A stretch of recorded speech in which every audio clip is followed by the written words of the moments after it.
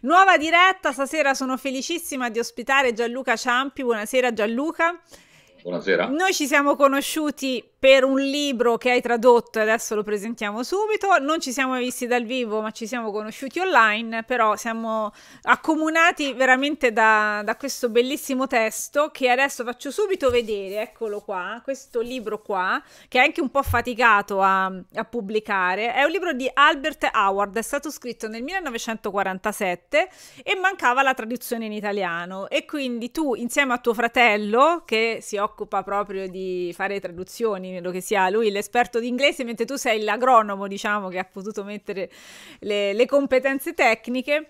Eh, insieme avete deciso di fare questa traduzione perché valeva la pena. Tu da quanto tempo conoscevi questo testo per dire che ce l'avevi in testa di pubblicarlo? Allora, non tantissimo perché eh, se pensate che io quando ho fatto l'università a Perugia, se, se, avessi avuto questo testo anche in inglese semplicemente, me lo sarei mangiato, divorato, insomma, no? Quindi eh, l'ho scoperto dopo Howard e, e, poi il problema era trovare il tempo per tradurre un testo abbastanza impegnativo, lungo, eccetera e trovare, come abbiamo già accennato, l'editore. Ci ho pensato in lockdown, in questo, in questo, periodo tanta gente hanno fatto cose in quel periodo di vuoto, tante persone hanno trovato il tempo di fare cose che desideravano fare da tempo.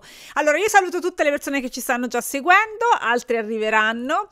Il, il, stiamo, parliamo di un libro, ma guardate, stasera parliamo veramente di cose concrete perché eh, Albert Howard era un, un signore inglese che ha girato il mondo al tempo in cui la Gran Bretagna aveva tutte le sue colonie attive, lui andava in giro per le fattorie veramente di, di mezzo mondo a controllare cosa funzionasse e cosa non funzionasse per far eh, crescere bene le piante, quindi faceva anche il bene della sua nazione per tutte le produzioni agricole che erano sparse nel mondo in, suo, in questo suo viaggiare, in queste, in sua, eh, queste sue sperimentazioni anche che ha fatto, ha veramente eh, dato tantissimi consigli pratici che oggi ci lasciano stupiti. Cioè, io leggendo questo libro lo trovo estremamente moderno e mi sono anche un po' meravigliata perché quando io sto dietro a questi temi da tanto e, e penso, forse un po' diciamo pensando al nostro paese, che diciamo il grande cambiamento in Italia è arrivato dopo la seconda guerra mondiale, quando appunto da un'agricoltura eh, di, dei contadini che conoscevano la terra si è passati ad un utilizzo maggiore dei mezzi meccanici e dei concimi chimici e di tutte le altre sostanze chimiche come i pesticidi. In realtà eh, Howard era attivo eh, agli inizi del 1900, il libro è del 1947 ed è l'ultima sua opera che poi tra l'altro è scomparso quell'anno. E, ehm, quindi diciamo che certe problematiche già si vedevano in, in tante parti del mondo, anche, soprattutto in Inghilterra dove eh, sia l'industria era arrivata prima e quindi anche le sostanze chimiche erano, c'erano già tante sostanze chimiche a disposizione per fare agricoltura e quindi lui aveva già visto cosa comportasse l'utilizzo della chimica e non erano cose belle. okay? Quindi facciamo intanto una riflessione su questo punto di vista e poi vediamo quali soluzioni lui propone perché lui racconta le, le, le, sia le sue esperienze che le tante cose che ha visto che sono estremamente utili oggi per avere piante in salute, poi anche animali in salute, poi anche persone in salute, perché è bellissimo, insomma, tutto l'escursus che lui fa, la salute della vita sulla Terra, eh, del, sul pianeta Terra, deriva dalle buone condizioni del suolo. Ho fatto una lunga introduzione, sì. Gianluca, scusami, ma... Sì, sì, sì. No, no, ma è, in fin dei conti è proprio il centro del, di tutto il libro, è proprio questo. E, però per, per, per, per, dare questo centro lui fa una marea di esempi, eh, c'è da, da fare una piccola premessa, nel senso è vero che lui ha lavorato per l'impero, però lui era una persona che lavorava per l'essere umano fondamentalmente, perché se pensiamo che fino a pochi anni dopo la gestione dell'agricoltura per l'impero britannico era fatta dalla Compagnia delle Indie, la quale ha fatto carne di porco in tutto il mondo, tra l'altro gestendo anche guerre, e infatti chi ha letto il libro ogni tanto si sente che lui dice eh, sì, entriamo, ma non come dei ladroni, non come degli opportunisti, eccetera, eccetera. No? E, e, e, e, il ladrocinio più terribile è stato per, proprio quello della fertilità del suolo, perché non c'è niente di più facile che andare su suoli vergini, coltivare per 5-10 anni e portarsi via la ricchezza e lasciare quel suolo abbandonato a se stesso e con rischio appunto poi di, mh, se non proprio di desertificazione, comunque di abbassamento della fertilità, eccetera, eccetera. E Howard, quindi ehm, l'impero britannico però si era accorto che la Compagnia delle Indie era andata un po' fuori del seminato per, e se andiamo a vedere la Compagnia delle Indie è la prima multinazionale che è esistita nel mondo. Okay. E la, cioè, il re e la regina, insomma, a quei tempi c'era il re, insomma, comunque il, il regno britannico eh, a un certo punto l'ha esclusa. L'ha esclusa perché si è accorta che aveva preso un potere tale che eh, sia economico che anche militare, politico, eccetera, che diciamo eh, le colonie erano più in mano alla compagnia che, che, alla, che, alla, che alla, monarchia stessa. Eh, per esempio, pochi sanno che il tè che tutti pensiamo che gli inglesi l'hanno scoperto quasi per primi dall'India, il tè in India non c'era. Ah, ce l'hanno portato gli inglesi il tè? Ce l'hanno portato gli inglesi perché lo compravano dalla Cina, ma i cinesi glielo vendevano caro. E poi con la Cina ci sono stati una marea di problemi, guerre, c'è stato tutto il problema dell'oppio, eccetera. E, e, comunque che loro gli vendevano dall'India. Ok. Facevano sì. l'oppio e, e, e, praticamente a un certo punto hanno mandato una specie di 007 in Cina che ha iniziato a, a acquistare di nascosto o rubare piante di tè e piano piano attraversando l'Himalaya c'è un libro che, che, è una storia epica comunque questo ha fatto un ladrocinio e ha portato il tè in, in, in Inghilterra eh, sì, in, in, India e così via no? quindi diciamo c'è un mondo il mondo delle piante eh, ha avuto tanti passaggi. Howard si è interessato di terreni di, di, tutti i tipi perché chiaramente lui partì dai Caraibi perché da giovanissimo fu mandato nelle colonie caraibiche. Sì, lui fa anche un bel confronto tra appunto le, le situazioni nei, nei, vari territori anche appunto caraibici, ma eh, anche con la situazione dell'Inghilterra che conosceva bene, era figlio di proprietari terrieri, quindi conosceva Allevatori, anche le condizioni del certo. suolo inglese. Poi una cosa di cui si parla poco sia nel libro che anche nella storia, però io credo che fosse più importante di quello che,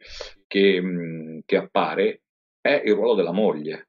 Sì, perché lui torna giovanissimo, torna giovanissimo a Londra dove finisce, perché lui era specializzato, era botanico ma specializzato in micologia e poi si laurea in botanica, quindi di fatto lui non è un agronomo, ma a quei tempi diciamo si può dire che è diventato il miglior agronomo del mondo per esperienza. No? Ma lui si, si, si fidanza e si sposa con una giovane donna, siamo ai primi del Novecento, eh, e, e, che praticamente era la, una dei massimi esperti sulla fotosintesi clorofilliana, lavorava in laboratorio. E se pensiamo a una donna che lavora in laboratorio sulla fotosintesi clorofilliana eh, i primi del Novecento si contano sulla punta delle mani.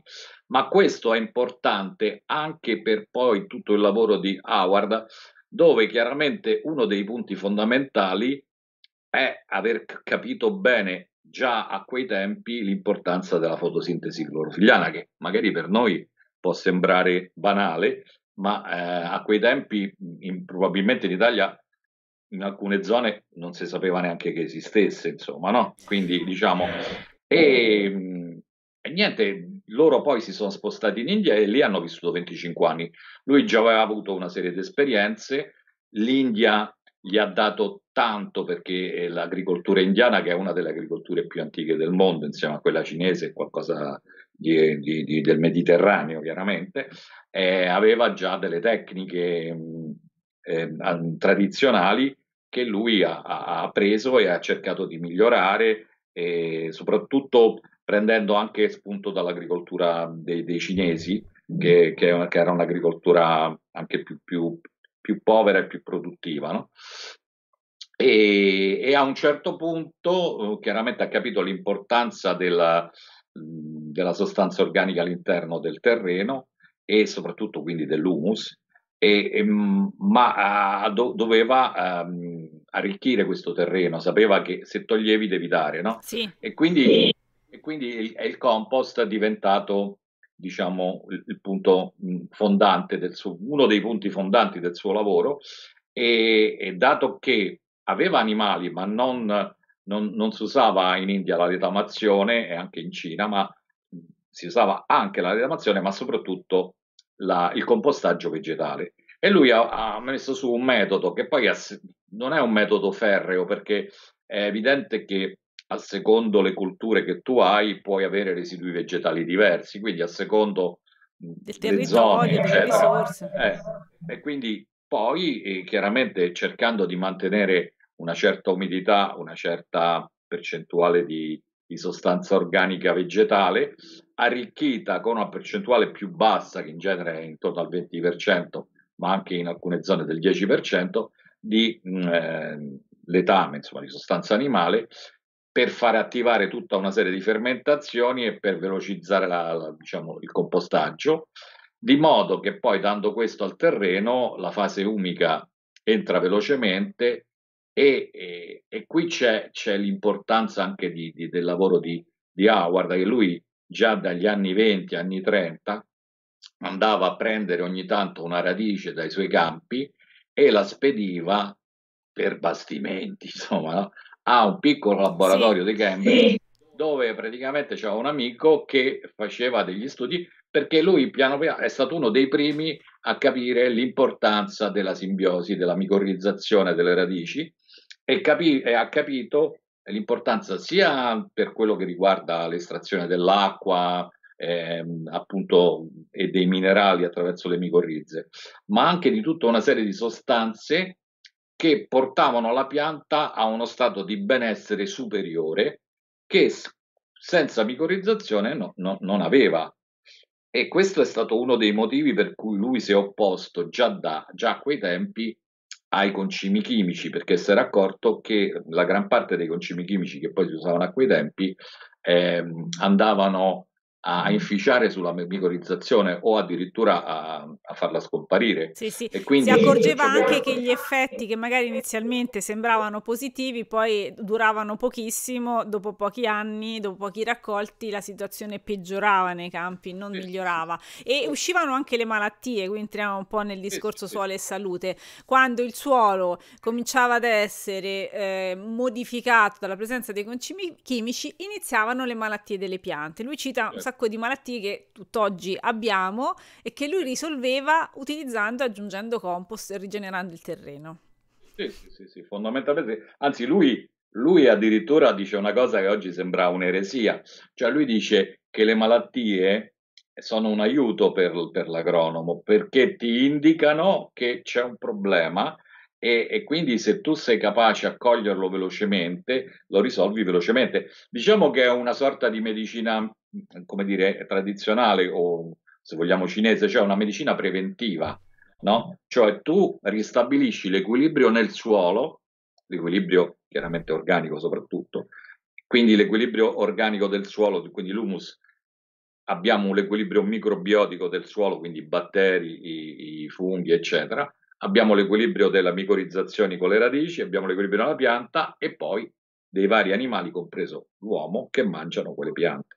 Allora, Filippo sta poi... iniziando, ci sta iniziando a, far, a, vedere le frasi. Io ho estratto alcune frasi dal certo. libro, è veramente pieno il libro di frasi che vi, ci possiamo sottolineare, copiare, appendere al muro prima di andare a lavorare la terra. ci possono veramente fare da guida. È veramente pieno di, di perle di saggezza. Appunto, la cosa che meraviglia è che lui l'avesse visto da tanto tempo. Sono anche questioni che noi oggi ci poniamo eh, che ci sembra di scoprire adesso, eh, che, che, che, certe pratiche fanno male e altre cose andrebbero fatte, in realtà si, si, si sapeva e si vide subito che eh, la chimica, per esempio, non, porta- non, era la strada giusta. Comunque, eh, Howard, l'humus tra tutte è la riserva più importante in natura. L'hai chiamato Alberto, sì. Filippo? sì. Abbiamo Albert, italianizzato. Vabbè, insomma, sì. È la riserva e più diciamo importante che... in natura. Lui parla eh, tantissimo della, della necessità di, di, avere riserve e, e, parla della grande legge del ritorno. Cos'è la, sì, la, la legge del ritorno che noi abbiamo un po', eh, come dire, estrapolato e, e anche un po' rovinato con, diciamo, le, le, l'economia circolare fondamentalmente, ma effettivamente è un'economia circolare la legge del ritorno, ma è, la, è l'economia circolare della natura. non un qualcosa di, diciamo, artefatto, insomma, no? Quindi chiaramente eh, lui prende fondamentalmente spunto da, dai boschi, dai boschi, dalle foreste, eccetera. Cioè, fondamentalmente osservando, che poi è quello che poi in, in qualche modo Bill Mollison per la permaculture ha proseguito, diciamo, in gran parte il lavoro di Howard, perché c'è da dire che Howard in Italia non lo conosce nessuno, ma nei paesi anglosassoni, almeno tra le persone che si interessano in un certo modo, è Quindi Bill Mollison probabilmente l'aveva letto Howard. Mollison sicuramente l'ha letto. Cioè, eh sì, eh, cioè, ci metterei la mano sul fuoco, eh, insomma. Non, non, non, non io sono stato in Australia, ho pure frequentato aziende di permaculture e a quei tempi non conoscevo Howard, capisci? Quindi nemmeno mi è venuto in mente di chiederlo, eccetera, no? Ma tu devi pensare solamente una cosa per, farci, per, far, per far capire. Siccome I diritti della terra, che è il libro precedente di Howard, è stato tradotto in italiano vent'anni fa, eh, la, le, le, è stata fatta una prefazione e un'introduzione. La prefazione la, la fece 22 anni fa il principe Carlo d'Inghilterra, cioè il re adesso, sì. quando era molto a favore del biologico. Scusami, una cosa tecnica, ti chiedo di abbassare un po' il, vo- il tuo volume, cioè il volume del PC, ok? Perché altrimenti sì, okay. abbiamo un, un ritorno sì. appena appena. Okay. Parlo anche un po' più piano perché io ho un vocione. E, e l'introduzione l'ha fatta Vandana Shiva, che è diciamo, uno dei, dei manifesti dell'ecologia indiana No? E tra l'altro Vandana Shiva, eh, per difendersi da un attacco mh, di multinazionali, a quel tempo era proprio la, la, la, la Montalto, insomma, la, la sì, Monsanto? La, sì, sì, la Monsanto. Mi sa che c'è il problema e, ancora che... con l'audio, giusto Filippo? Se puoi abbassare la, mia, la voce con cui mi ascolti, se puoi, eh? sempre un po' alt... Sì. L'esaurimento della fertilità è il, tra- è il, trasferimento di un passato capitale e di future possibilità allo scopo di arricchire un disonesto presente. Intanto leggevo una delle frasi. Sì. Lui, eh, finisco, que- finisco sì. questa cosa. Praticamente la, la Monsanto si stava accreditando una serie di grani tradizionali indiani e lei, per dimostrare che erano tradizionali indiani, è andata a riscoprire dei lavori di Howard su quei grani e praticamente grazie a Howard si sono salvati i grani tradizionali ah, indiani dalla multinazionale. Quindi, cioè, voglio dire, no? Quindi all'estero non è che, che, che diciamo, è piuttosto conosciuto. Tant'è che io ho pensato che negli anni 50-60 non c'era nessun interesse di tradurre Howard in italiano perché noi siamo stati il paese che più velocemente di tutti gli altri è passato da un sistema agricolo contadino a un sistema industriale nel giro di dieci anni. Cioè, basta chi, chi, chi, chi vuole fare cultura, basta leggere Pasolini in quegli anni lì che diceva sul passaggio dalla, dalla, tradizione contadina, non solo agricola, ma anche culturale e tutto quanto, al passaggio del diciamo, pensiero omologato industriale moderno, insomma. No? Quindi, diciamo, anche lui è stato abbastanza profeta, diciamo, di una serie di cose. Howard, chiaramente, torniamo un po' alle frasi che, che leggiamo, eh, l'applicazione di fertilizzanti chimici, ah sì, infatti fu scrupolosamente sostenuta da tutte le autorità e lo, oh, tra l'altro lui sfidò più di una volta eh, le ditte mh, mm, proprio per dimostrare che, che, il suo processo era mh, mm, parimenti produttivo, forse eh, a quei tempi era più facile, perché adesso pompano ancora di più, più specializzati, eccetera, e, e, ma soprattutto chiaramente poi conservava la fertilità del suolo e non c'aveva malattie e tutto quanto, no? Ma le ditte sono sempre sfuggite perché sapevano che era bravo, no? Quindi non l'hanno fatto. Tra l'altro lui fa un'accusa, se vogliamo, molto moderna alla, a un certo metodo scientifico, sì. cioè che poi non troviamo solo in agricoltura. Eh. Guarda, Quindi... fa la stessa accusa che fa anche un altro grande, insomma, che ci ha parlato dell'agricoltura naturale, che è Masanobu Fukuoka. Ho trovato molte certo, analogie, certo. cioè il ricercatore si chiude nel suo laboratorio, non conosce più la terra, non coltiva, non conosce neppure gli agricoltori e, no, e quindi non trova le vere soluzioni. Però poi quel, quel tipo di ricerca viene imposta, no? Qui si parla del Ministero sì, dell'Agricoltura. Sì può succedere. Sì, sì ma lui, lui, siccome in Inghilterra eh, ci sono stati fatti i primi campi sperimentali al mondo, e quindi diciamo cose che noi abbiamo fatto solo dagli anni 60-70 in poi, cioè quando tu devi fare una sperimentazione prendi un campo, dividi i plot e fai delle prove, eccetera, e su quelle prove lì dai una serie di dati e questo è un discorso che è classificato scientifico. Mentre lui attaccava ampiamente questa, questa metodologia perché dice questa è, è, è, in, in, campagna non funziona così. No. Cioè, quella prova che tu fai su, su, su 3 metri quadri la dobbiamo fare su 3 ettari, solo così c'hai una risposta reale di quello che è il discorso. E quindi lui veniva anche attaccato da, da, da molti agronomi del sistema di allora. Però Ma... si difendeva bene, guarda, ognuno Ognuno dei partecipanti al convegno, insomma si riferisce a un, a un evento dei suoi tempi, senza eccezioni, eccezioni, lavorava sotto la schiavitù della mentalità NPK. Lui parla spesso di questa mentalità NPK che appunto eh, io pensavo esatto che fosse una, una, trovata moderna, invece già alla fine forse dell'Ottocento, primi Novecento, eh, aveva già diciamo permeato tutti, quasi tutti coloro che lavoravano la terra dal punto di vista intellettuale. NPK, ecco lo, spie- lo spieghiamo, sono i 13, le tre basi del fertil- della fertilizzazione chimica, chimica, quindi l'azoto, il diciamo. potassio e il fosforo. Sì, che poi è Liebig, cioè la chimica di Liebig portò alla concimazione chimica e i, i tre macroelementi primari sono azoto, fosforo e potassio, no? NPK. E, mh, sì, lui si difendeva benissimo e attaccava benissimo. E, mh, tra l'altro, la cosa che, che, che permea il libro è il suo ottimismo. Sì. È un ottimismo, io in qualche modo ho pensato anche un po' ingenuo, perché però forse a quei tempi non sapevi con che mostro avevi a che fare, perché ancora il mostro non era enorme come poi è diventato. Lui vedeva dopo. che era così evidente, la... purtroppo la mia voce ancora si sente, scusate. Allora, eh, lui vedeva così evidente eh, la, le sue soluzioni, cioè che un suolo eh, sano, con che funzionava naturalmente, che aveva questi apporti di compost, risolveva tutti i problemi. E adesso poi entriamo più nello specifico perché voglio dare indicazioni che permettano alle persone anche di ri- riportare tutto nei loro campi, nei loro orti attualmente.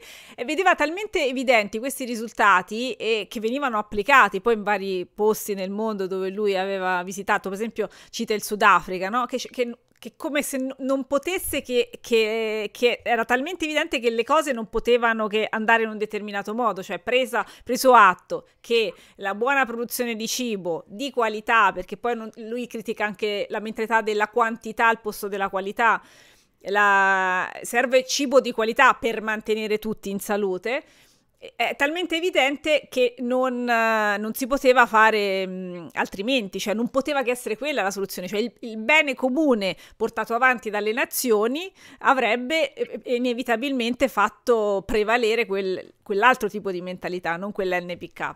E invece... Certo, lui, lui portava anche degli esempi, eh, ad esempio lui porta un, degli esempi mh, sulle mense, mense di operai, mense di operai in, in, in Birmania, mense operai in, in Inghilterra e soprattutto mense scolastiche e soprattutto mense scolastiche durante il periodo della guerra, che era un periodo di scarsezza alimentare, e mense scolastiche basate eh, sul giardino, eh, queste scuole che avevano ampi giardini coltivati, quindi diciamo una buona percentuale del, del cibo veniva fatta in maniera organica da alcuni allievi e dal giardiniere che si dava da fare e gli, la stessa preside o, il pre, o insomma insegnanti notavano che negli anni, per esempio, le influenze, tutta una serie di, di, di problemi patog- patologici dei giovani erano diminuite nel giro di due o tre anni proprio da quando era cambiata la dieta.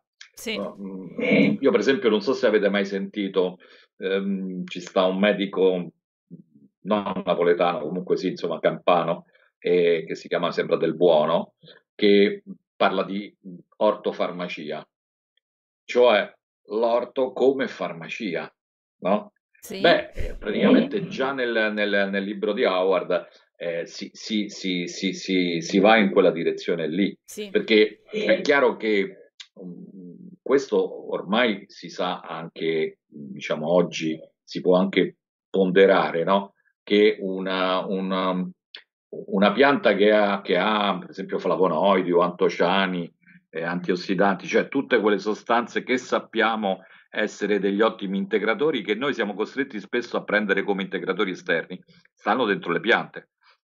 Ora però è stato visto che una coltivazione eh, biologica fatta chiaramente bene, con una buona quantità di humus, eccetera, alza nettamente la quantità di queste sostanze rispetto, che ne so, a una coltivazione da serra eh, diciamo chiaramente concimata chimicamente e, e, e quindi praticamente tu um, mangi verdure, molti le chiamano verdure pigre, no?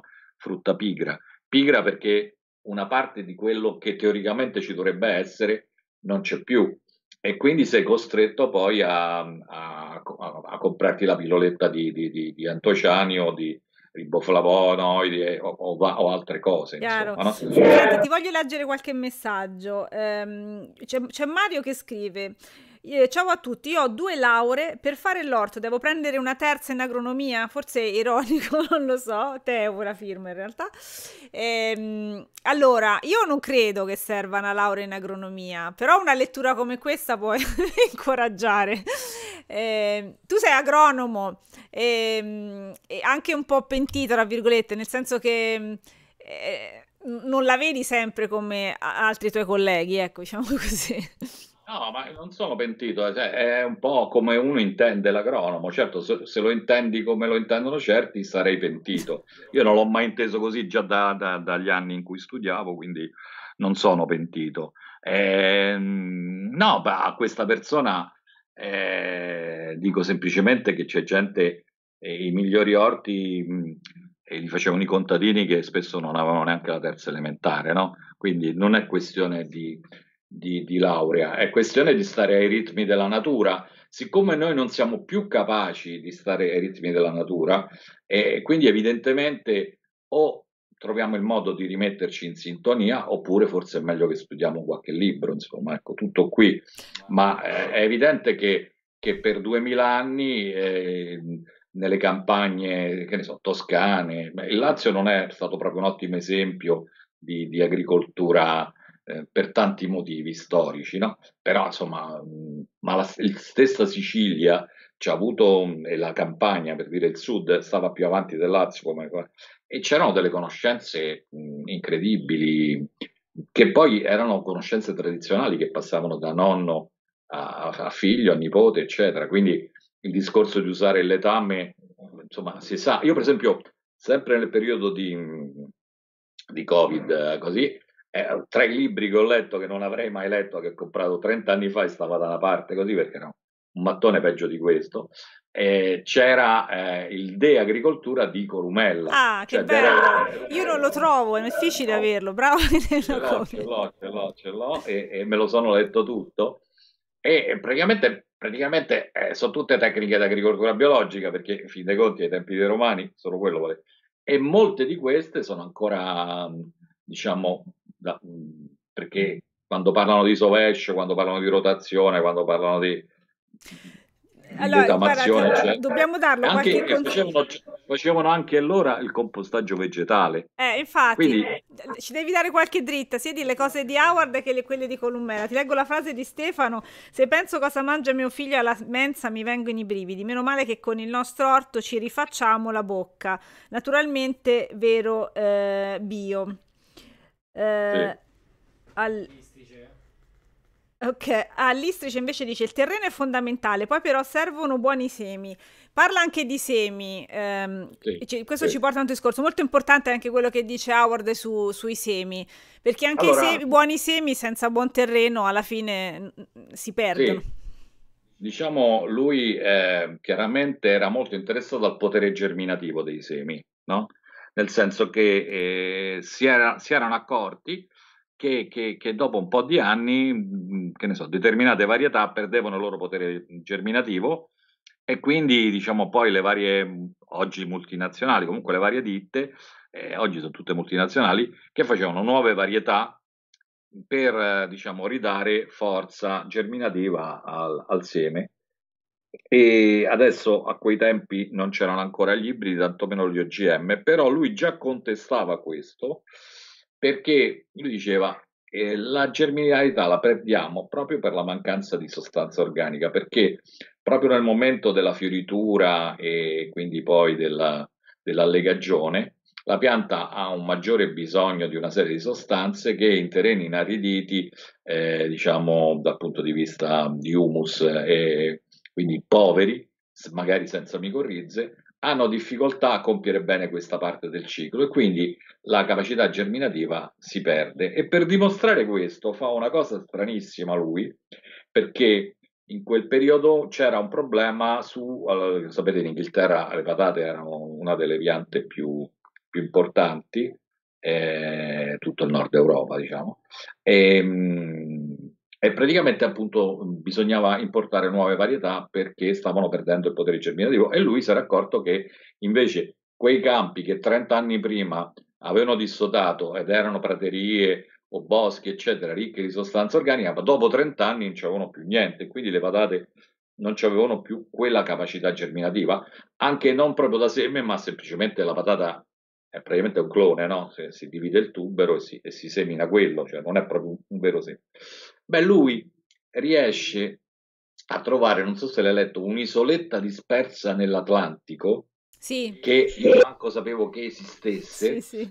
dove praticamente sono scomparsi per, per, per naufragio alcuni inglesi e due italiani, tra l'altro di, del Liguri, eh, che praticamente vivono queste famiglie con, mi sembra, hanno otto cognomi tutto, tutto il villaggio su quest'isola, di cui due sono italiani, da 300 anni lì, no? Ok? 250 anni almeno, insomma, no? E chiaramente vivono di pesca, ma soprattutto di agricoltura che eh, fanno loro. E lui diceva, la patata è quella che portarono i primi e non l'hanno mai cambiata. Questi sono 250 anni che stanno lì. Perché? Perché sfruttando le alghe che arrivavano a Iosa da, da, da, da cosa, sfruttando il concime, ma soprattutto concime d'alghe, praticamente lui dimostrava che praticamente era impossibile perdere la germinabilità.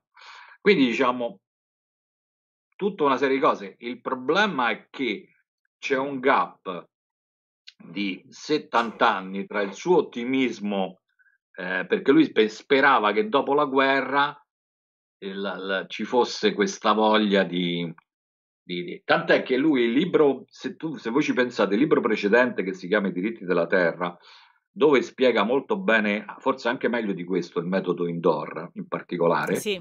no, questo qui, in inglese si intitolava An Agricultural Testament, il che la dice che per lui questo doveva essere l'ultimo. Ci siamo? Sì, del suo testamento.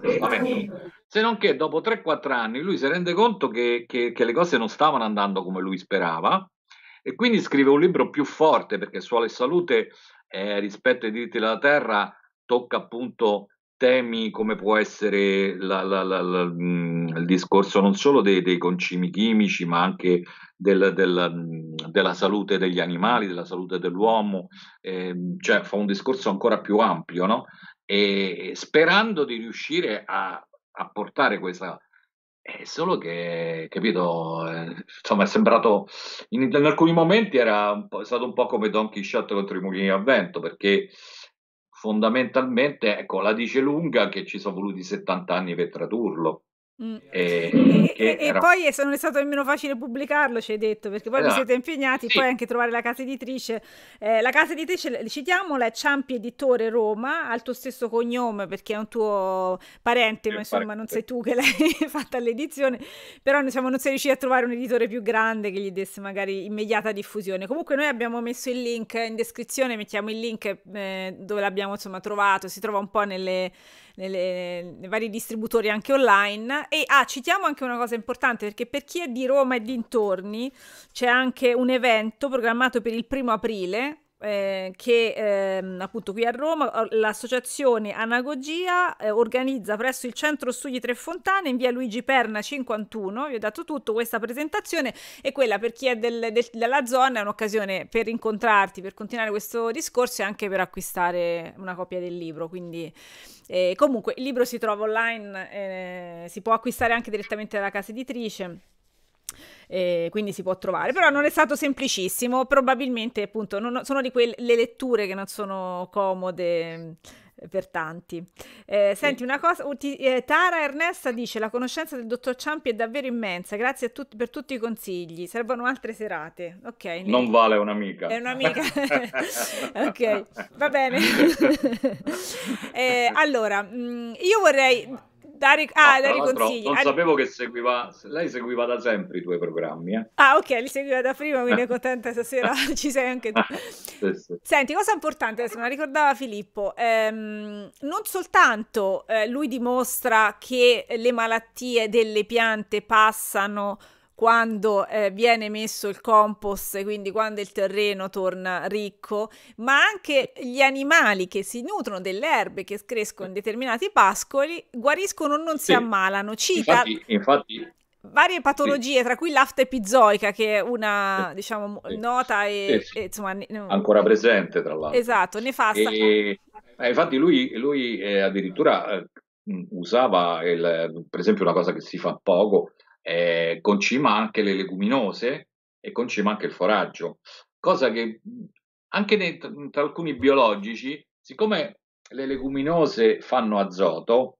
e quindi dici, vabbè, la leguminosa è una miglioratrice del terreno, che la devo concimare a fare? Ma invece lui ti spiega molto bene che una concimazione magari leggera, non forte, ma soprattutto nella prima fase dove la leguminosa comunque deve crescere per diventare una leguminosa che produca, cioè è importante soprattutto poi se quei semi li devi usare per germinare, cioè se tu fai lenticchie e ceci eh, ci avranno un potere germinativo maggiore, quindi è, è importante anche questo. Ora, gli animali, il discorso è questo, no? Eh, lui eh, quando arrivò l'afta epizoica in India, ad esempio, c'è proprio l'esempio pratico, lui aveva un paio di dozzine di bovini che a quei tempi venivano usati in India eh, soprattutto per lo spostamento dei carri e per l'aratura, eccetera. Stiamo parlando degli anni 30. E, ehm, e quindi c'era un minimo di, di, di, animali che tra l'altro sappiamo che in India non si mangiano, non viene, non viene mangiata. E, ehm, e, lui, e, lui, li usava per eh, migliorare il compost, perché abbiamo detto che il compost di Howard ah, non è solo vegetale, ma sono degli strati vegetali con degli strati minori animali, no? E quindi diciamo avere dei bovini nel caso suo era, era ottimale. Questi bovini chiaramente mangiavano il foraggio della stessa azienda, ma anche il foraggio veniva ben concimato, quindi era un foraggio molto ricco, pieno di vitamine, eccetera, e quindi creavano tutta una serie di difese. In più, chiaramente venendo lui da una famiglia di allevatori di un certo livello del, dell'Inghilterra, sapeva benissimo quanto era importante il ricovero dei bovini, eh, evitare troppo caldo, evitare troppo freddo, chiaramente in Inghilterra più troppo freddo, in forse più troppo caldo, e per esempio lui era contrario che già gli inglesi mettevano il cemento alla base delle stalle e lui si era accorto che eh, diciamo, eh, le, gli animali sul cemento, eh, oltre ad avere dei, dei problemi, ehm, possono, possono, avere anche mh, diciamo de- più facilmente delle patologie. E mentre invece lui faceva teneva un, un, terreno un po' sabbioso, un po' dove c'era molta paglia e loro giravano lì poi ogni tanto c'erano eh, gli uomini che prendevano questa cosa ed era tutta roba utile per, per il compostaggio, però gli animali venivano tenuti puliti. Venne eh, un veterinario dell'impero, stiamo parlando di probabilmente 28-29, e, e, e, e, lui per 12-13 anni ha tenuto questi bovini senza eh, accettare la vaccinazione per l'aftepizoica che, che gli consigliava il veterinario. A quei tempi lui poté tranquillamente dire no, io me li, me li allevo in questo modo e, e, il veterinario era incuriosito, quindi accettò molto volentieri e disse sì, comunque visto che fa questa cosa gliela seguo volentieri.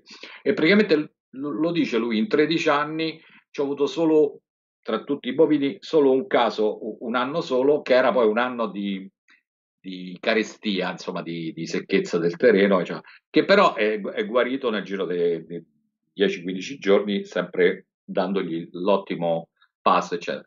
Chiaramente, eh, poi torniamo sempre un po' al discorso delle microsostanze che noi siamo sempre abituati alla quantità, no? Quindi quantità di peso, quantità d'azoto, fosforo e potassio, eh, quantità di proteine, zuccheri mm, e grassi, eccetera. No?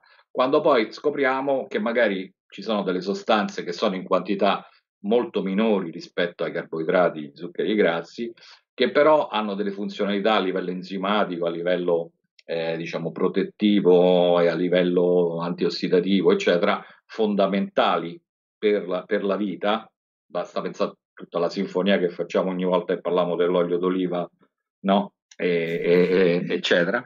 E, e quindi eh, più le, le, le, i frutti, i, le, erbe, i, i, vari prodotti da orto ah, sono ricchi di queste sostanze, e, e, più entrano nel nostro organismo e nell'organismo degli animali chiaramente, e più ci proteggono da una serie di patologie. Quindi lui era molto ottimista, lui addirittura dice se domani facessimo tutti così, avremmo quelle 3-4 patologie difficili comunque, ma tutto il resto secondo lui sarebbe sparito. Questo era, lui era un visionario, eh? cioè, diciamo, diciamolo francamente. Sì, sì, però tutto quello che dice lo, lo prova sempre, cioè fa, un, fa degli esempi sì, sì, sempre sì, lui, di cose constatate. Lui, lui i bambini, le, 100 bambini mangiavano biologico per, per tre anni dentro le scuole tutto l'anno e addirittura e, quando fece in, in, Birmania quella, quella, quella, cosa che poi ci fu la, partì la seconda guerra mondiale e, e, dovettero smettere, gli operai di questa ditta mangiavano tutti eh, e praticamente potevano portare anche a casa il, il, il cibo, il, diciamo, il cibo, e praticamente le mogli non si ammalavano, i figli non si ammalavano, tant'è che all'inizio erano un po' contrari, poi erano loro stessi che avevano piacere di coltivare l'orto perché vedevano una risposta positiva nella vita. Allora, c'è una domanda di Cristiano. Cosa ne pensa il professore del carbone vegetale, di relativi mix con compost e vermicompost per accelerare il tempo di rigenerazione di un suolo? Cristiano Gallinella è un nostro amico che lavora con sì. il biochar attivato e quindi vuole sapere il tuo parere. Sì, guarda, sinceramente mh, io in genere parlo di cose che ho provato. Questo non l'ho provato, però ne ho sentito parlare piuttosto bene da colleghi e quindi mh, diciamo va benissimo. Eh, teniamo conto che noi abbiamo questa, questa cosa che io forse eh, sto, sto diventando vecchio, cioè nel senso che o siamo per la rigenerazione del suolo, o siamo per l'orto sincretico, o siamo per...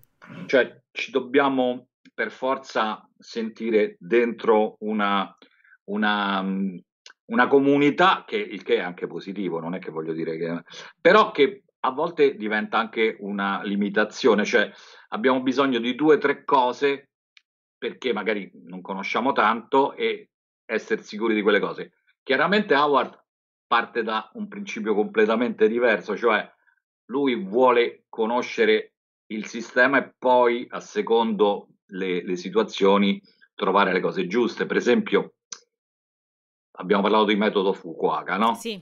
E quindi, per esempio, la non lavorazione del terreno è una cosa stupenda, no?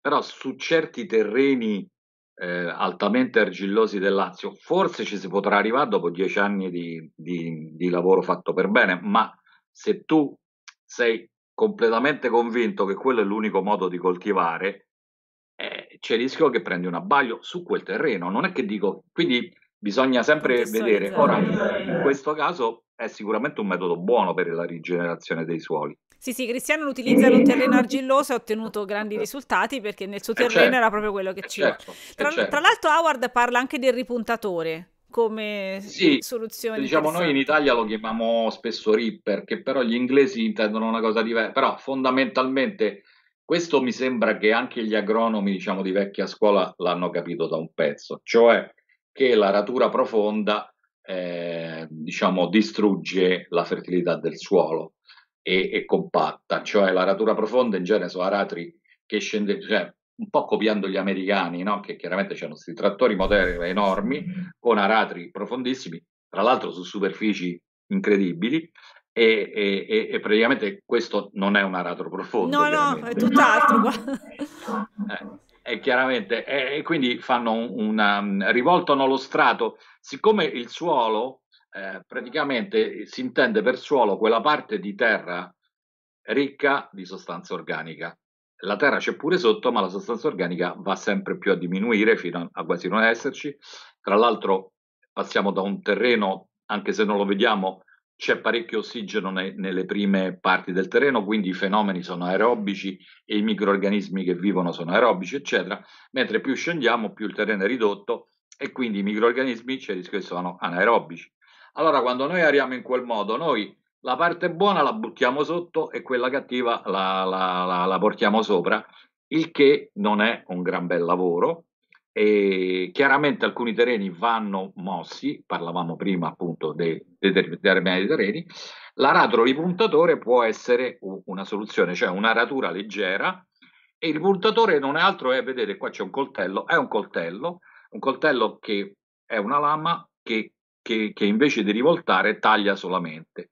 Tagliando noi permettiamo all'acqua e a una serie di fenomeni, diciamo, osmotici, anche tipo vasi comunicanti, di eh, girare più liberamente all'interno del terreno. Quindi, per esempio, nel caso di alcuni terreni asfittici, quando piove troppo, l'acqua rimane in superficie e, e diventano, si allagano, mentre invece un passaggio d'aratro ripuntatore ci permette, diciamo, questo. Ma la cosa interessante di Howard, per esempio, una cosa che in agricoltura biologica non avevo trovato da nessuna parte, è che lui ci dice una cosa, siccome una delle sostanze che spesso mancano di più in agricoltura biologica è il fosforo, perché nel concime diciamo ce n'è poco, e tant'è che la gente che vuole arricchire di fosforo, gli unici concimi che sono ricchi di fosforo sono quegli uccelli tipo guano, guanito eh, o pollina, insomma al limite, no?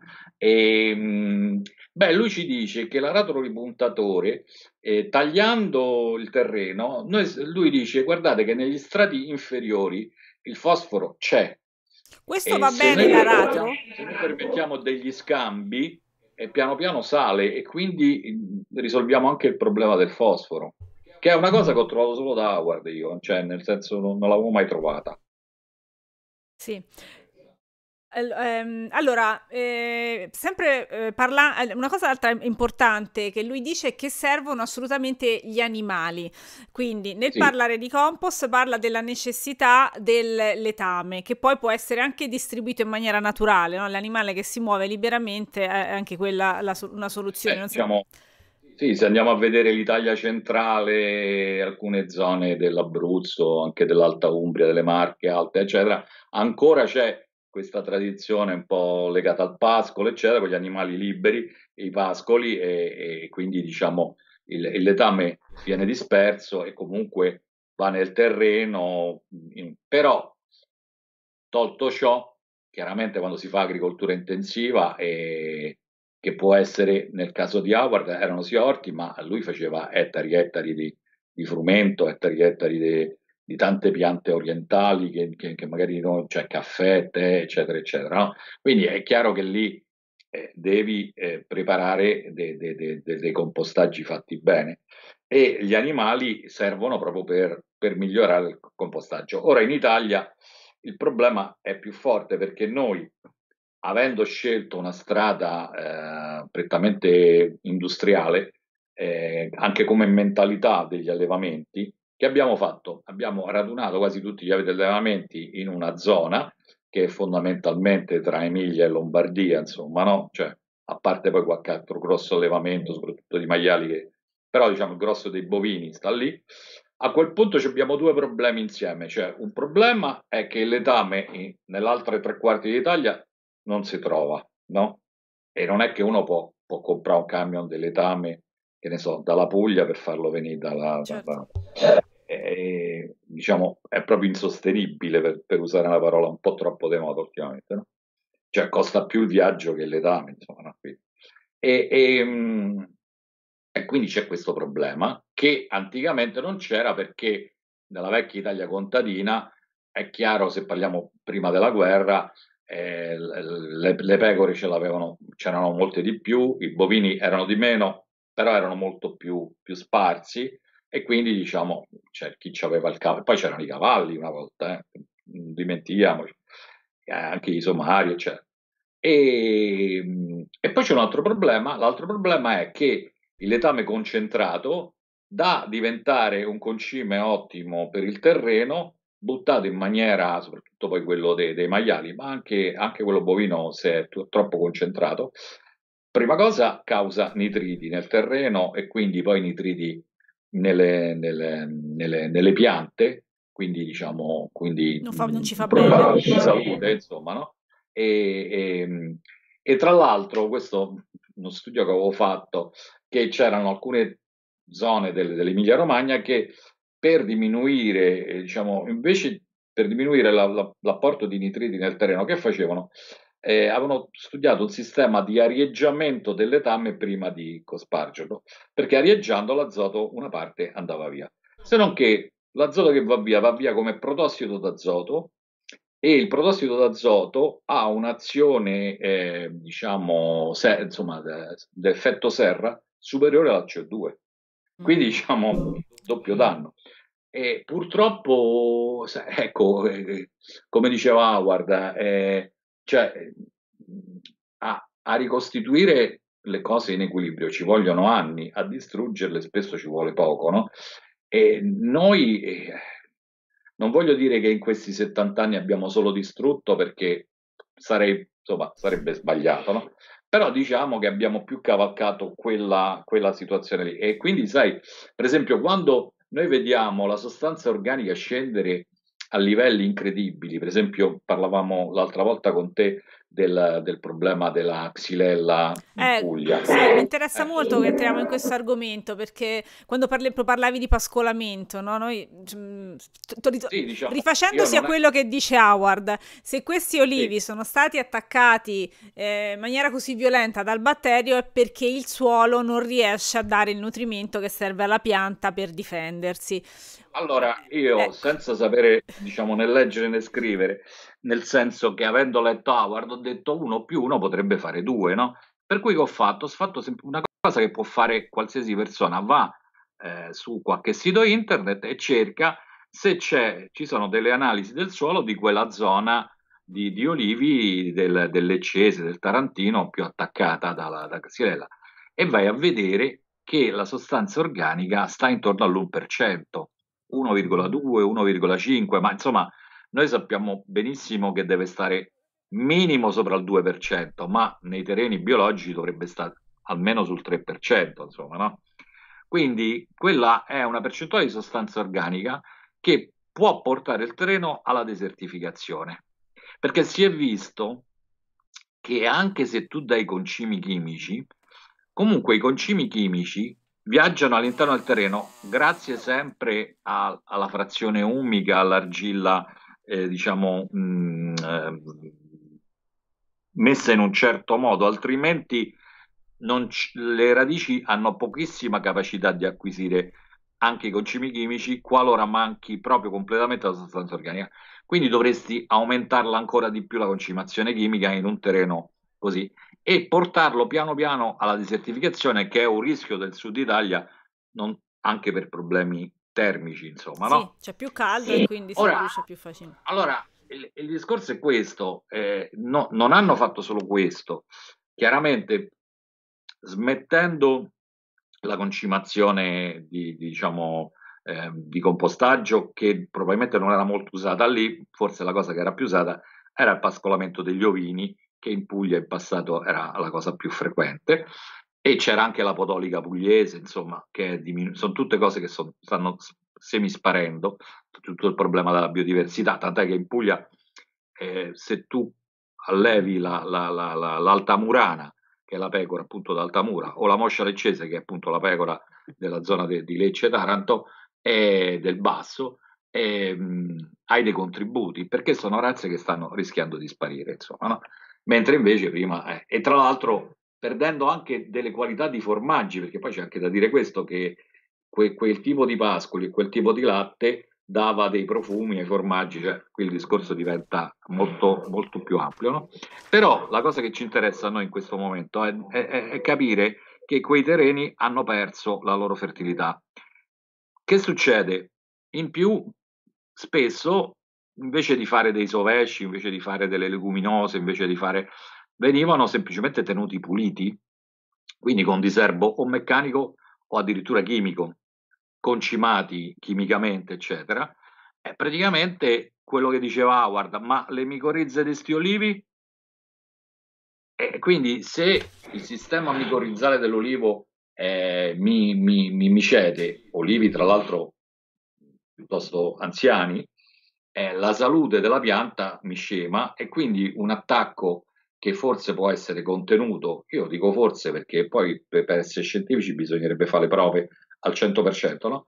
però comunque è un'ipotesi più che valida e, e, e ci sarebbe da, da, lavorare in questo senso, no? Perché, per esempio, adesso mh, se voi andate sui siti, voi potete fare micorrizzazioni per i vostri pomodori, certo. per i certo. vostri certo. frutti, eccetera. E ci sono varie ditte che eh, appunto ti danno mh, il, la, la, il fungo adatto per quel, quel tipo di, di, di, piante, eccetera. No?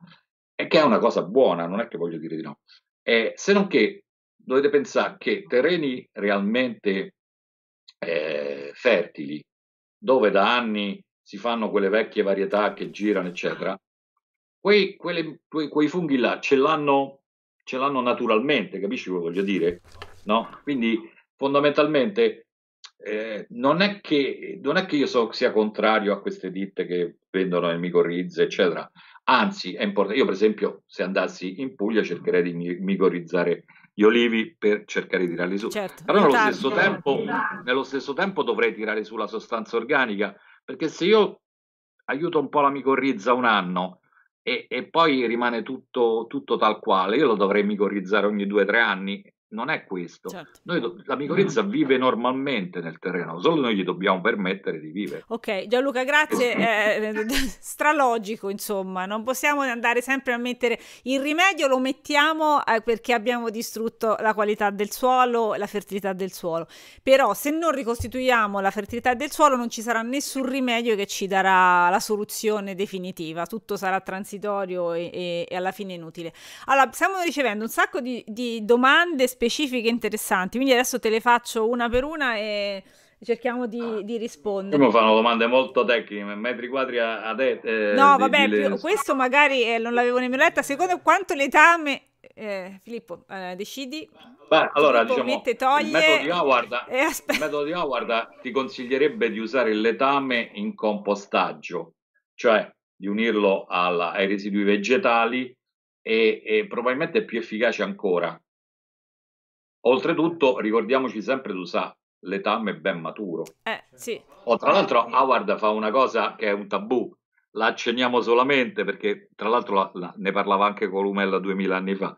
In zone, e chiaramente oggi è impensabile o comunque bisognerebbe ripensarla completamente, però lui in Sudafrica, non so se l'hai letta, sì, sì. La, la, fece fare. Cioè, e cioè praticamente dove non ci sono animali c'è l'etamo umano e l'etamo umano funziona uguale. Tra l'altro il modo per recuperare il fosforo, se non sbaglio, che abbiamo questa carenza di fosforo. Un po', un po', un po'. Un po di... Comunque diciamo che dovremmo ricambiare tutto, ma visto che dobbiamo ricambiare tutto perché le cose non vanno proprio, magari ci arriviamo anche a questo. Al... Oh, tra l'altro, non so se ti ricordi, cioè se ci hai visto, se sei arrivato alla fine, io ho messo una lettera di Liebig. Sì, interessantissimo. Guarda, ce la teniamo per ultima parte... cosa la lettera di Liebig. Facciamo le domande e poi la riflessione di Liebig, okay, okay, che okay. È, un altro tema stra interessante e, e, lo tocchiamo prima di chiudere. Allora, è importante una buona alimentazione degli animali per il letame o va bene tutto il letame, anche quando, quello degli allevamenti intensivi? E cosa ne pensa del letame pellettato? Allora, cioè, voglio dire, affari puristi, ehm, ci, cioè, in un momento del genere no, non si può perché se eliminiamo il letame degli animali, diciamo, in, in, in stalla, insomma, in, in, allevati industrialmente, ed eliminiamo il letame pellettato, praticamente si può dire che non ce l'abbiamo quasi per niente il letame, quindi eh, bisogna tutti. fare di necessità virtù, insomma.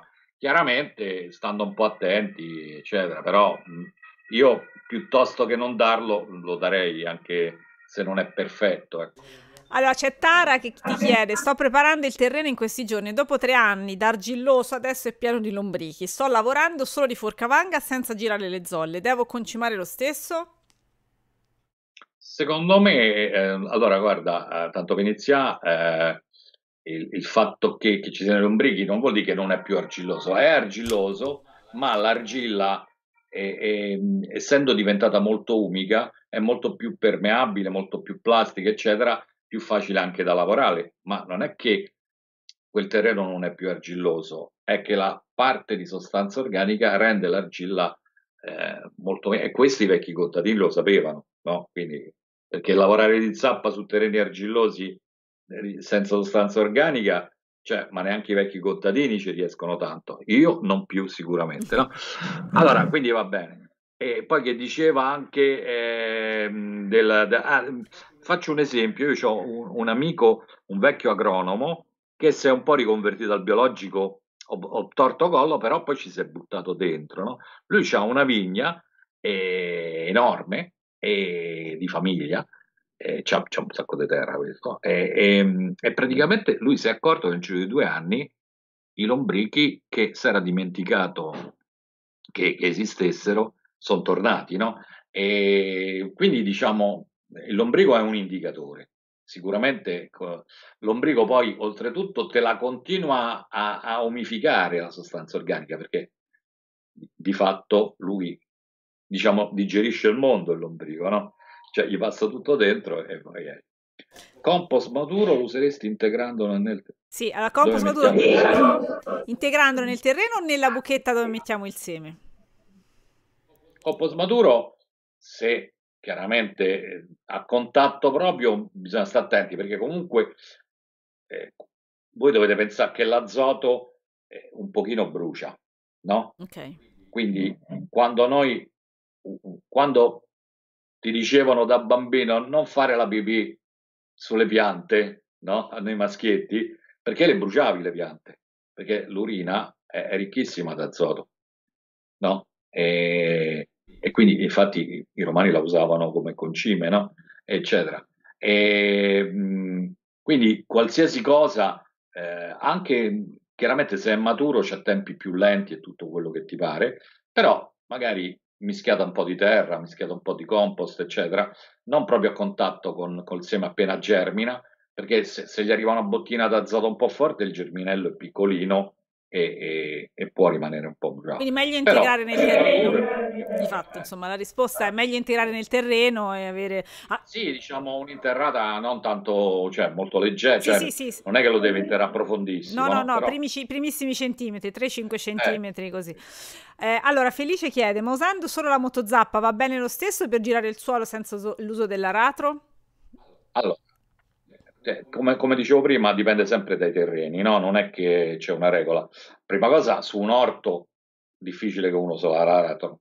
L'orto poi, se hai lavorato più anni, con un minimo di intelligenza si ammorbidisce da solo, perché o la concimazione, ma anche se a volte, per esempio, io avevo un amico che faceva, per anni, fatto, faceva due orti, un anno uno, un anno l'altro, praticamente tutti i residui li buttava da una parte, poi l'anno dopo faceva l'orto da una parte, tutti i residui li buttava da una parte e quindi praticamente si creava un letto soffice perché tutta, tutta la roba fermentava diciamo nel terreno eccetera. Io per esempio quando nelle comunità dove lavoravo a Castel di Guido c'era una comunità di, di, ragazzi dove facevamo un orto e, e dovevo fare la pacciamatura e, però non volevo usare la plastica. Allora lui c'è un grosso allevamento di bovini, che ogni tanto ci ha dato anche un po' di letame, ma ci dava in, quei, quei, rotoloni de, delle rotoballe del, quando andava un po' a male. Io che facevo? Stendevo il rotolone, lo tiravo giù lungo, diventava un tappeto lunghissimo e lo usavo come pacciamatura ed era fenomenale perché funzionava i primi mesi in maniera forte, poi chiaramente si iniziava a degradare, ma serviva già di meno dopo e poi infine con un po' di letame sopra a quando arrivava l'autunno eh, diventava concime organico per il terreno e chiaramente il terreno si diventa sempre più soffice. Quindi per chi lavora con la moto zappa, se c'è il terreno soffice e c'ha due belle braccia, non c'è nessun problema. Io quando parlo d'aratura in genere parliamo di terreni di ettari, eccetera, insomma, no? Sugli orti, a meno che casi particolari, oppure all'inizio proprio, no, eh, eviterei di, di, usare l'aratro. Allora, domanda di Luca, eh, come definiva il compost ai suoi tempi? Io credo che si riferisca ad Howard, come lo chiamava il compost? È stato tradotto compost, non so la parola inglese. Ma secondo me era, è una parola anglosassone, quindi diciamo, diciamo sì, sì, sì, compost. Beh, probabilmente, eh, chiaramente lui lo, lo chiamava mh, appunto il metodo indoor, perché Indore? Perché Indore era la cittadina del, dell'India, de, della provincia indiana, dove lui faceva queste sperimentazioni, quindi l'ha chiamato Indore per quello.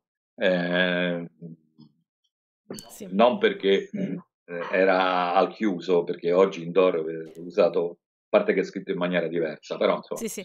No, no, penso, penso Comunque, se ho capito bene, non, non, è spiegato approfonditamente in questo libro, credo che fosse spiegato un po' più nell'altro, che non, che non ho ancora letto. Sì, sì. Eh, se ho capito bene, però, era diciamo integrare il letame insieme agli altri scarti vegetali, invece di far maturare il letame da solo compatto, eh, integra- No, no, lui è, contra- è contrario, uh, anche perché lui fa, mi sembra, in alcuni passaggi lo spiega anche che e mh, la letamazione spesso ha una perdita di azoto, di sostanze abbastanza grossa, mentre invece praticamente tu fai prima uno strato vegetale, poi uno strato di letame più, più piccolo eh, rispetto al vegetale, poi uno strato vegetale, poi uno strato di letame, e piano piano si forma il cumulo, ecco un cumulo, no? Forse ecco, in alcuni casi invece di compost lo chiama cumulo. Sì. E, poi lasci il tempo di maturazione e, poi praticamente c'hai, c'hai già un pre-humus, ok?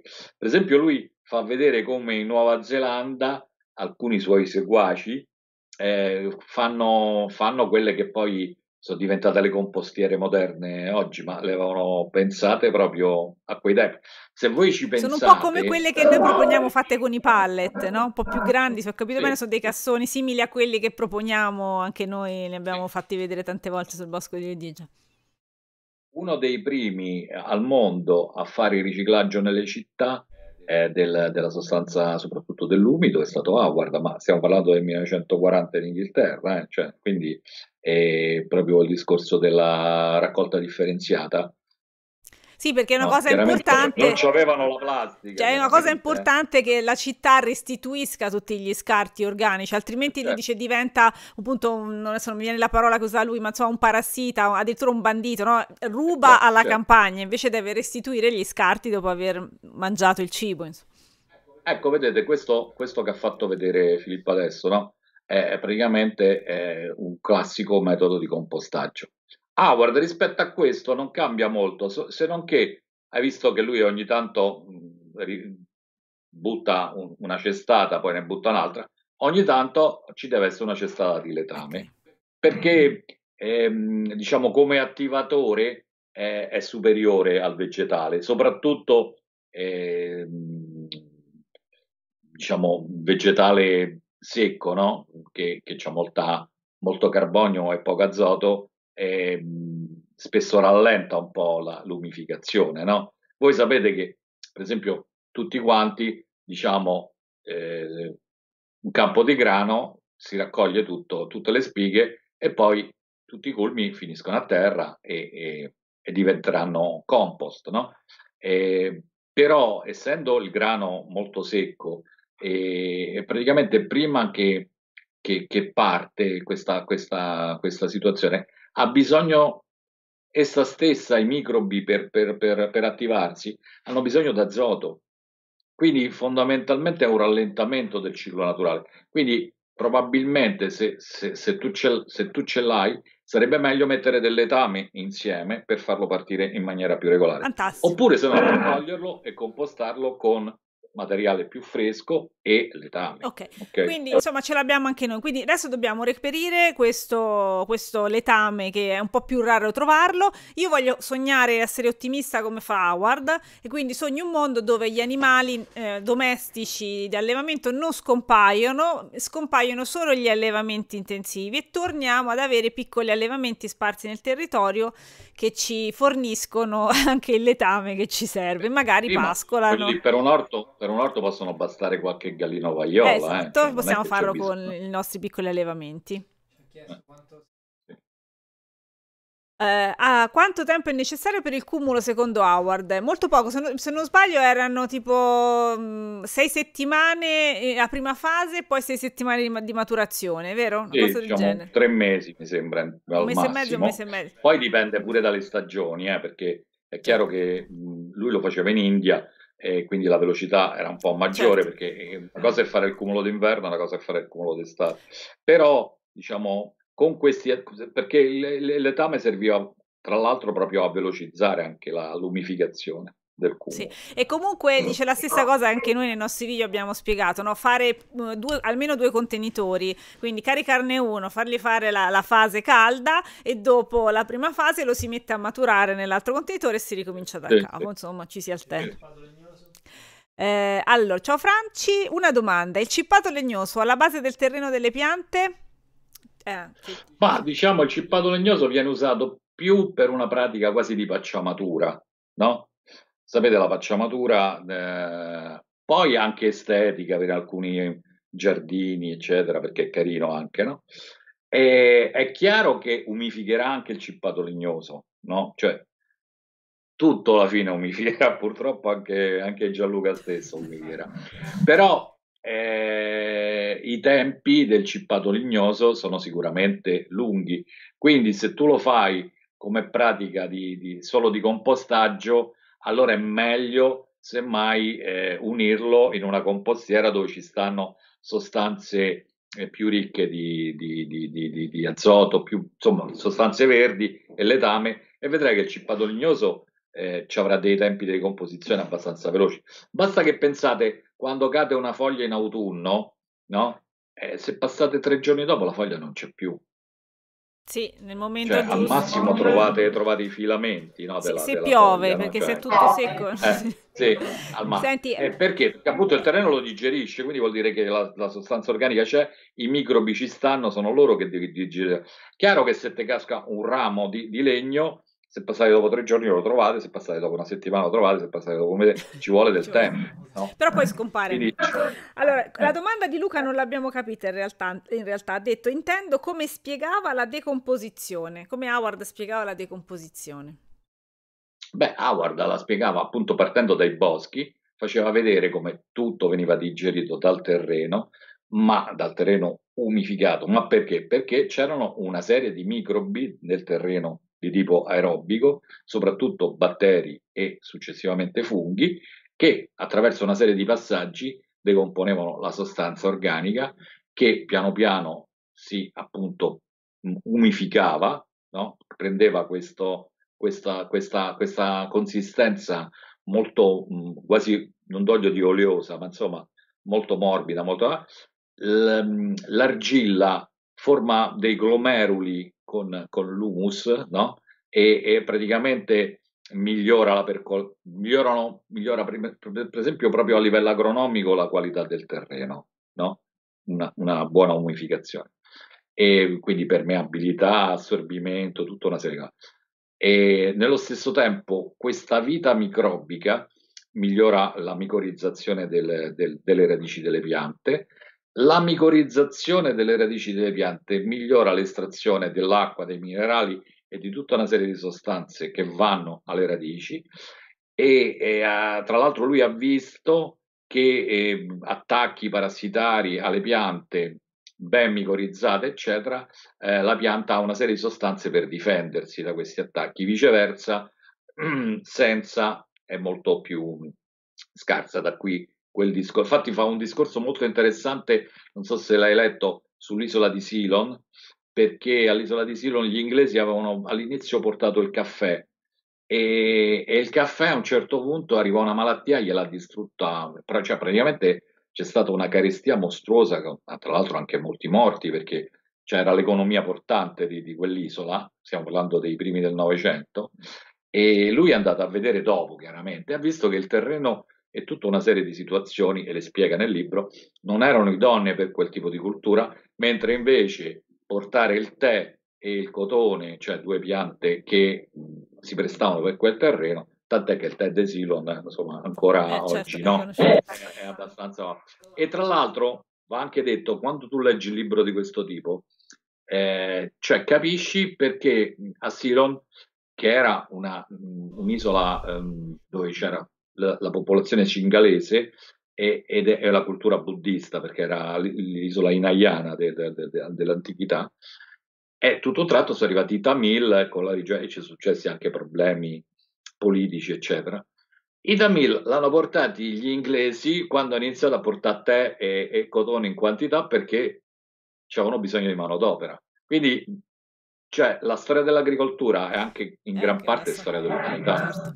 Senti, ci sono tantissime cose. Adesso mi hai citato il cotone, quindi ti devo chiedere una cosa sul cotone. Adesso il, il cotone, che è diciamo la, una, la fibra fon- fondamentale con cui facciamo una marea di cose, è un problema. Sappiamo che inquina tantissimo la sua produzione, viene utilizzata una marea di chimica. Però nel suo libro Howard spiega invece che anche per il cotone sarebbe tutto molto più semplice, perché è anche una pianta che non non ha grosse richieste. Adesso vediamo un campo di quelli intensivi. Sì, sì, sì, sì, Ma allora, tanto per iniziare, io credo che in India non è che Howard facesse campi piccolissimi di cotone, eh? Probabilmente usava, prima cosa, delle varietà locali che si erano ben instaurate nel, nel, nella zona e seconda cosa, umificava il terreno eh, sfruttando poi la tradizione della, della, delle coltivazioni in zona. No? E...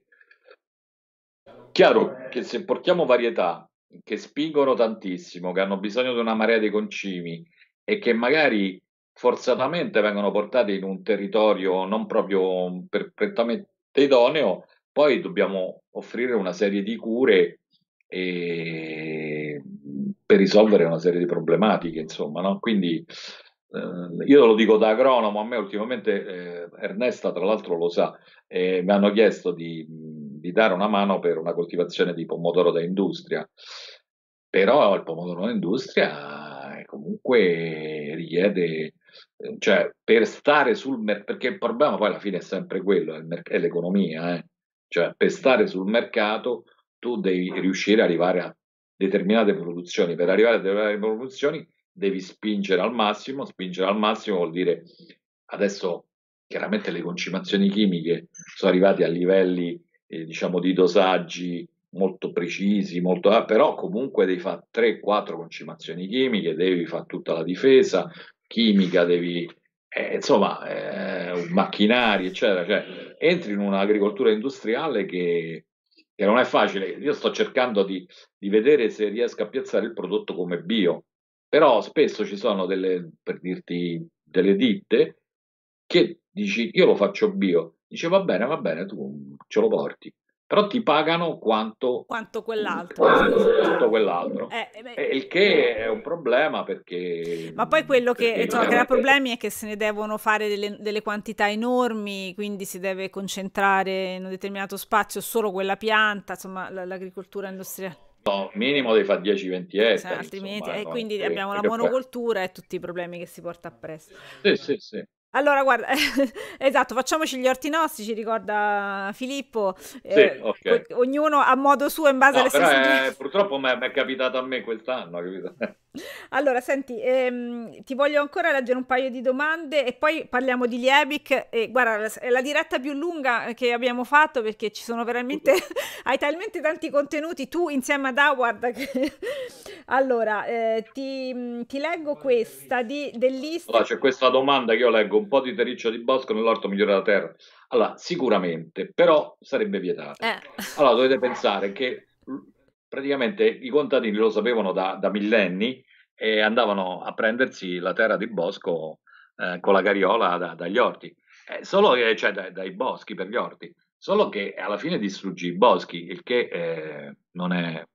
No. Cioè, è chiaro Bisogna che se parliamo di solo. 500 anni fa, in zone, diciamo, boscose dell'Italia, si poteva fare tranquillamente, chi ti diceva niente, cioè, avevamo migliaia e migliaia di ettari di bosco, Adesso i boschi sono diminuiti, noi siamo aumentati e insomma non si può Allora fare. io spero che la soluzione a questo sia l'agroforestazione che noi stiamo studiando, stiamo proponendo, quindi utili- e che poi era una, una, delle proposte di Howard. Eh? Esatto.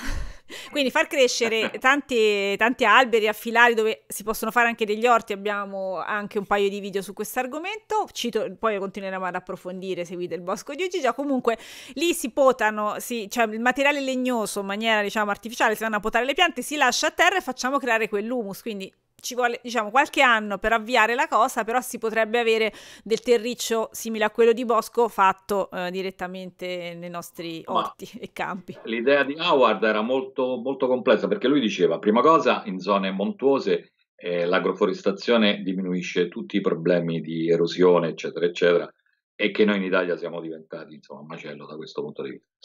E, e ci sono non mi va di entrare dentro sta cosa perché ci sono fenomeni storici che sono un po' lunga, ma eh, mettere mh, alberi d'alto fusto, eccetera, l'albero la, lavora alla radice, scende giù tantissimo, quindi spacca il terreno, quindi fa un lavoro che una pianta ortiva non potrebbe fare, ok? Quindi lui consigliava addirittura di fare dei boschi per 30-40 anni, arricchire di sostanza organica, spaccare il terreno, poi dopo 30-40 anni vai a fare la legna, il bosco lo sposti e lì fai agricoltura perché quella zona cioè, c'è il terreno friabile e, e, e, e chiaramente lui la vedeva molto sì, in grande, sì, sì. no? Però ha senso, quindi lo possiamo fare. Ci vuole ave- di avere una visione, insomma, non, non volere il raccolto il, il, il, mese dopo, però si può fare. sì, questo poi è il problema dell'agricoltura moderna, no? Che noi siamo abituati ormai a qualsiasi cosa che deve produrre per la... Invece, voglio dire, eh, i nonni mettevano l'albero da frutta sapendo che i nipoti avrebbero mangiato quel frutto, insomma, no? Eh, oggi nessuno lo, lo, pensa più, oppure uno, due, insomma, no? Allora sì, c'è l'Istrice, ce ne aveva fatta anche una, te ne, leggo, te le leggo entrambe. Allora, ogni tre mesi rivolto tutto il cumulo della compostiera, capovolgendo il contenuto. Chiede se è utile o se dovrebbe farlo più spesso. E prima c'aveva anche... Guarda, Howard era partito, mi sembra, con una volta al mese, poi alla fine praticamente si è reso conto che, che, che si poteva anche accorciare, accorciare L'importante è mischiarlo bene quando lo mettiamo, cioè nel senso è chiaro che se tu mi fai eh, tre quarti di cumulo, tutto con sostanza secca e poi l'ultima parte con vegetale, lo, mm, molto fresco, eccetera, lo devi mischiare subito perché sennò... Eh, eh, se invece gli strati sono fatti bene, insomma, parte secca, parte umida, parte letame, parte secca, parte resti di cucina, eccetera, praticamente basta mischiarlo probabilmente come fai te. Ok, va bene. Allora, sempre Listrice ci aveva detto che perché scartare a priori le feci umane e lui nel compost, e dice nel compost va benissimo l'urina. Eh, ah, guarda, infatti lui non esclude. Adesso dobbiamo fare un po' un cambio perché siamo andati molto avanti in questo allontanamento dai nostri... allora, diciamo che quello delle feci umane adesso è mescolato un po' dal problema, mettiamo sempre avanti il discorso scientifico, malattia ma è un po' un tabù, no? Cioè, se, quando noi parliamo di uomo, sono delle cose che sono un po'... E anticamente si faceva, e se voi pensate al Decameron dei Boc- de, de Pasolini, del Boccaccio, no? E quando quello casca dentro, casca dentro e, e, e le feci umane, ma che venivano poi raccolte e portate nei campi, eh? non è che... Quindi, voglio dire, mi diceva un amico mio abruzzese che i suoi nonni eh, nelle campagne d'Abruzzo, quindi fino agli anni 40 eh, passava il carretto e poi portavano le feci sul carretto perché poi questo le portava in campagna. Quindi, cioè, non è che è una cosa. Chiaramente noi ci siamo, come diceva Pasolini, molto imborghesiti. No? Tra l'altro, Liebig dice, dice una cosa interessantissima perché poi Liebig in tarda età è come se, se pentisse ecco, così arriviamo a Liebig che è la nostra conclusione no, però, di stasera. Solo per il discorso feci umane, lui dice Dice l'Inghilterra crollerà perché ha inventato il, il water closet. Come, cioè, come Roma no, che aveva parlo. inventato la cloaca maxima, giusto? Sì, Dice sì, proprio sì, così. Quindi attenzione, è già successo. Allora, Liebig, chi era? Ricordaci perché è fondamentale. Eh, Liebig è stato uno dei più grossi chimici. Eh, praticamente lui, eh, oltre, diciamo, noi lo conosciamo solo per il dato da brodo, no? Eh, però eh, fondamentalmente cioè, ebbe questo impulso di, di dire cioè eh, da chimico eh, molto positivista, se io alla pianta gli do le sostanze che lei usa, la pianta uh, vive bene, insomma, no? Diciamo il massimo della chimica sarebbe fondamentalmente l'idroponica chimica, no? Cioè, nel senso senza terreno, senza... e poi un po' come mettersi noi quando purtroppo uno finisce in ospedale, una flebbo e, e stai attaccato lì, insomma, no? Quindi diciamo eh, lui chiaramente riuscì a capire del, de, de, de, delle cose, quindi no, non è che, che, che, fosse, cioè lui riuscì a capire che l'azoto era eh, la, la, la, sostanza più importante delle piante, quindi poi fosforo e potassio, poi anche i, i, i macroelementi secondari, che sono calcio e zolfo fondamentalmente, e poi quelli più secondari tipicamente, che sono pari ferro, eh, rame, eccetera, eccetera, eccetera. E, fino al boro e altre sostanze. Comunque, che cosa fece alla, alla fine dei dosaggi della sua vita? Eh, certo. eh, lui, sì, è praticamente l'NPK, si può dire che l'ha inventato Liebig, no? Ora però, che è successo? In tarda età lui eh, capisce, che poi capisce la cosa che aveva capito, che capì dopo Howard, cioè capisce che ci sono delle leggi naturali lì c'è anche probabilmente una crisi mistica perché probabilmente si avvicinava anche alla morte, eh, insomma, perché stiamo parlando di, di quel periodo lì. Però eh, che ci stanno delle, delle, cose naturali e che, il, come dire, è un peccato, i greci dicevano di ibris, no? cioè questa arroganza dell'uomo di voler uh, sostituirsi alle leggi di natura. La cosa bella di Howard è proprio questa, che lui ti dice, noi invece possiamo accompagnare le leggi di natura cioè noi compartecipiamo alle leggi di natura.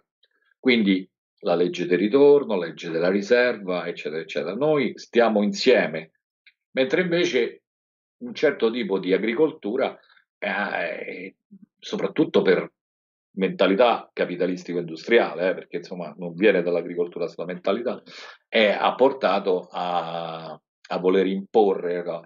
Però Liebig in tarda età capisce l'errore e, e, e, dice proprio, dice, addirittura dice la, la, la, la, stessa, lo stesso sole, la stessa natura si, si permettono e oltretutto eh, l'acqua che che all'interno con le piante purifica anche le sostanze tossiche presenti nel terreno, cioè fa tutto un discorso da, diciamo da, chi, da chimico che ha inventato il gran problema dei fertilizzanti chimici, alla fine poi ritratta tutto e ripete la natura al centro. probabilmente si è accorto che questa sua invenzione, che magari era anche geniale quando l'ha pensata, si stava imponendo come legge economica e, e, e avrà visto e, anche i danni che qualcuno sarà andato a raccontargli guarda che ci sono dei problemi sì oddio secondo me a quei tempi grossi danni non si vedevano so, ancora, certo. subito non si vide. Gli epic che stiamo parlando di molto. Insomma, allora, facciamo rivedere, di Howard. Rifacciamo rivedere il libro di, di, Howard, lasciamo i link, ricordiamo che c'è questo appuntamento il primo di aprile a Roma, se persone vogliono venire a incontrarti. Abbiamo fatto tardissimo, io voglio anche annunciare però che in qualche modo il discorso lo portiamo avanti la prossima settimana perché avremo il dottor Marotta ospite, ce l'avremo venerdì prossimo. Lui, eh, con lui abbiamo fatto un sacco di puntate parlando del legame tra, suo, tra, la salute e il suolo. Lui è un medico, quindi la prendiamo dalla parte opposta, dalla salute dell'uomo ritorniamo a quella del suolo. Però è veramente un tema importante. Tra l'altro si ricollega molto a quello che abbiamo detto stasera perché parleremo di, dell'importanza delle erbe spontanee, cioè di tutti i nutrienti che troviamo nelle erbe spontanee. Quindi esattamente quello che alla fine ci racconta Howard dicendo, adesso, dicendoci che appunto gli animali che si nutrono di quelle erbe stanno bene, gli uomini che si nutrono di quelle erbe stanno bene. Sì, sì. Infatti lui fa vedere come eh, l'uso poi di, di prati pascoli da seme ehm, diciamo, fatti apposta per il pascolo, hanno risultati nettamente minori al prato pascolo naturale, perché nel prato pascolo naturale, essendoci tutte quelle erbe spontanee, curano il bestiame molto meglio che un prato pascolo, diciamo, razionale. Diciamo. Sì. Ok, dai, grazie. Un'ora e mezzo abbiamo fatto, il record assoluto. Grazie, davvero in tutto interessantissimo. Secondo me le persone sono rimaste ad ascoltarci, quindi penso che sia, lo sia stato anche per chi ci ha seguito. La diretta naturalmente rimane, chi si è collegato adesso se la può rivedere dall'inizio. Un bel like, eh, aiutateci per così aiuta a diffondere il video, a farlo, a farlo vedere di più. Condividetelo con i vostri amici se trovate il tema interessante. E ehm, basta, ci vediamo vener- con la diretta, ci vediamo venerdì prossimo, quindi il 17 di marzo ne facciamo una con il dottor Marotta. Grazie Gianluca, buona serata a te. Grazie a, a te, grazie a voi. Ciao. Buona serata a tutti.